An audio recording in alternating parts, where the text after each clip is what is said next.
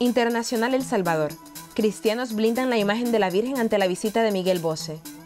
Tras los conciertos del pasado 11 y 13 de febrero celebrados en Ecuador, en los que el cantante Miguel Bosé profanaba la imagen de la Virgen al borrar la cara de María para poner la suya propia, los católicos de El Salvador se niegan a que este espectáculo vuelva a ocurrir en los conciertos programados en su país.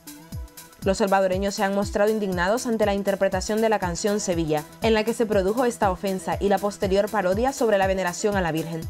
Consideran que se trata de una burla a la fe cristiana y a la Iglesia, y por ello no están dispuestos a que durante el concierto programado para junio ocurra de nuevo algo así.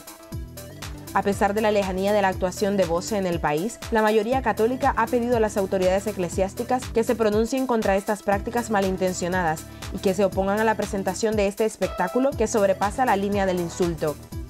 Además, los salvadoreños se justifican alegando que el objetivo del cantante y su espectáculo es escandalizar y promover el odio a nuestra fe y a la iglesia con estas acrílegas manifestaciones.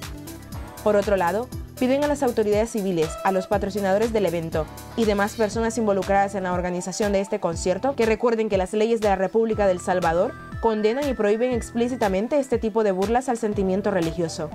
Por este motivo, exigen que se actúe contra todas las exposiciones y espectáculos que expongan de manera premeditada una burla contra la fe de todo un pueblo y se evite toda publicidad hacia ellos.